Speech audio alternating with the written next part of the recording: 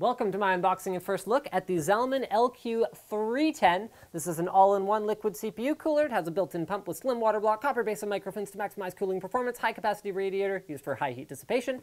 Additional 120mm fan can be installed, durable and long-lasting tubes, environmentally friendly, anti-corrosion coolant, and Slick seems to be bothered by the plastic that is all over the package because it makes it hard for him to see anything because, you know, cameras and plastic and reflections and all that. So we're Come on.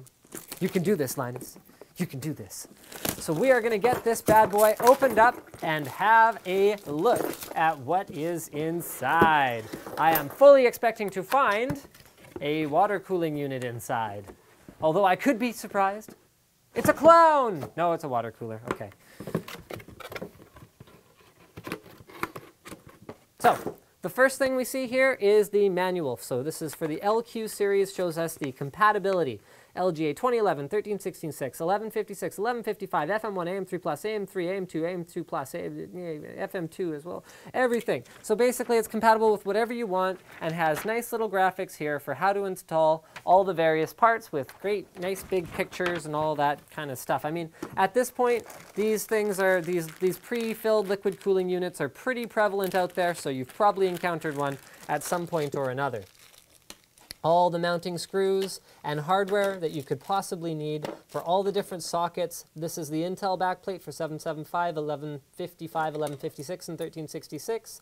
Intel hold down, swappable piece here, AMD hold down, AMD backplate, and LGA 2011 is done a slightly different way.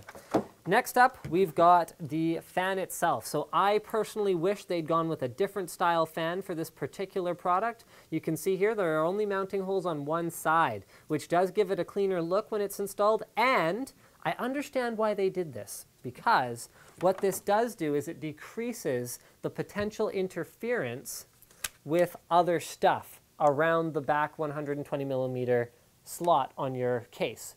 See, because there's not these corners where you know you might have stuff coming up here. So I understand why they did this, but it does not give me the option to put the fan on the other side because I'm going to have, uh, well, I'm not going to be able to mount it.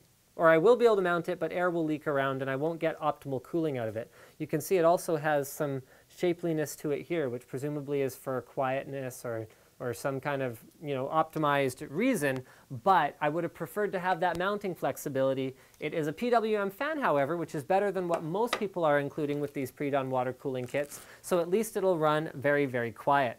Next, we've got the radiator itself. So this is a slim radiator, which improves compatibility with cases. However, if you're going for maximum overclocks, you're going to want a thick radiator or a dual radiator liquid cooling unit. The bottom has a high quality thermal compound pre-applied to it. This is a full copper water block, including the copper fins on the inside, so you don't have to worry about any corrosion or any kind of nonsense like that. Not to mention it's got an anti-corrosive coolant inside, and we've got a Zalman logo on the top. The tubes are extremely high quality, so you can see you can twist those up as much as you want. So even if like it's installed here and your CPU socket was like here, you wouldn't have to worry about the tubes kinking or anything like that. There's nothing kinky about this particular water cooling product.